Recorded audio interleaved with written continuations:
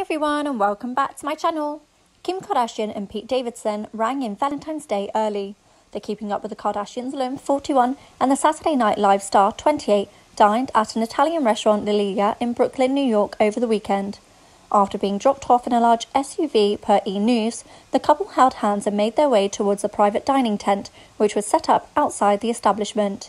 For the night out, Kardashian opted for a sparkly grey monochrome look that included the same fuzzy coat she wore while having dinner ahead of her SNL debut in October. Kardashian paired the outerwear piece with a wrap dress and a metallic over the knee boots. Davidson, meanwhile, opted for a more casual look, wearing a brown jacket over a blue and black plaid shirt with a white t shirt underneath. He also sported baggy jeans and a pair of black and white sneakers. Kardashian's romantic outing comes after Davidson appeared on People, the TV show, early this month and opened up about his plans to celebrate Valentine's Day with the Skims founder.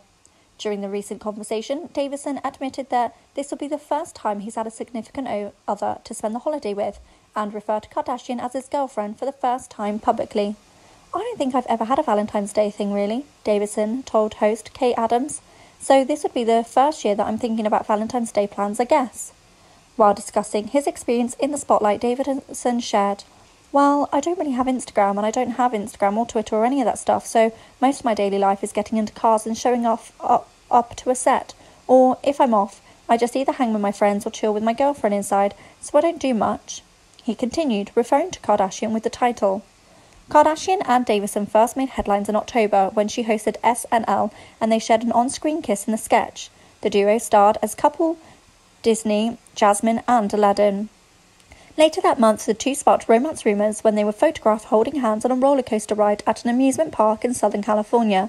They were with Kourtney Kardashian and her fiance, Travis Barker, whom David Davidson knows through their mutual friend, Machine Gun Kelly. Since then, the pair have been spotted together on numerous occasions, including when they spent time in Palm Springs, California, to celebrate Davidson's birthday in November, and when the duo had a romantic dinner and a movie date in Staten Island, New York, Davidson's home turf, in December. In January, a source told people that Kardashian's romance with Davidson is just what she needs amid her divorce from Kanye West. The reality star filed for divorce from the rapper in February 2021 after nearly seven years of marriage. Together, Kardashian, who recently requested to be declared legally single, and West, 44, share children North, 8, Saint, 6, Chicago, 3, and Psalm, 2. Thanks for listening. For more celebrity news, please like, comment, and subscribe.